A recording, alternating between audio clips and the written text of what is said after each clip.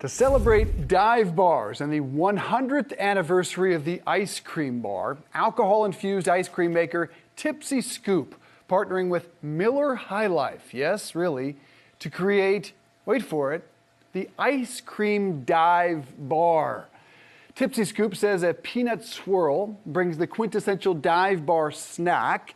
And yes, there's also a hint of tobacco and gooey caramel swirl to incorporate the distinct sticky dive bar floor. Does that make you hungry? Does no, it does not. I was actually going to say water. before we came back from break, I was actually like, wow, this looks pretty good. After that description, Rachelle, I think you're pretty lucky that you're not in studio right now about to taste this thing. I will say most things Tipsy Scoop makes sound delightful with Oh, yeah. ingredients that just make your True. mouth water. I think this one they struggling were to get it out having here. a little bit of fun with, with a beer that is not exactly on the top shelf, but a very dive bar esque beer, Miller High Life. But looks like it's really looks like it's a little too frozen.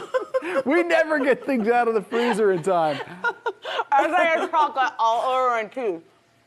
Um, well, you figure losing a tooth in a bar, that, that happens sometimes, so It maybe that's on brand. In fact, taste like beer, and not the great kind of beer, like you know. Oh.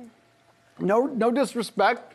Miller High Life is not generally the one I reach for. Oh, it does. I would not put this high on my list of summer treats. No, but honestly, after that description that you read, it really exceeded my expectations. so, certainly not at the top of the list. I think if there are other selections out there, I would opt for those, but not nearly as bad as I was bracing myself for. we had a Velveeta mean, I would- martini that genuinely didn't taste like Velveeta cheese, but this really tastes like beer. and like beer. Michelle, five percent alcohol in each dive bar.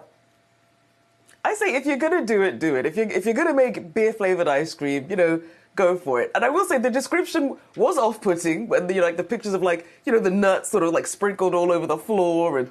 I don't, I don't know if I want to eat something that tastes like a dive bar floor, but Never. I mean, look, they're doing something interesting. It's creative, you know. It's something different to try while it's hot outside, so why not?